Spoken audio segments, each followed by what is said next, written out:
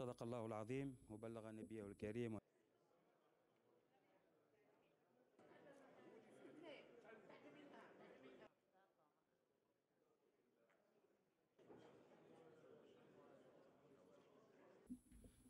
صدق الله العظيم وبلغ نبيه الكريم ونحن علينا اليوم أكثر من أي وقت مضى بصفتنا ممثلين للشعوب المزيد من التعاون والمزيد من تنسيق الجهود من أجل بلورة تصورات واضحة لإمكانياتنا ولطاقاتنا ولأهدافنا المستقبلية.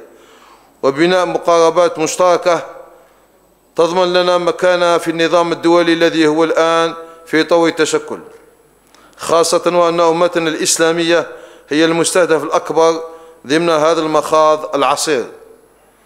ولعل الدور الرئيسي المنتظر من اتحادنا هو أن يكون القاطرة لمبادرات هادفة وبناءة تساهم في تعزيز التضامن والتعاون بين دول العالم الإسلامي في مختلف المجالات وتعزيز الوعي بالقضايا الإسلامية والعالمية المشتركة.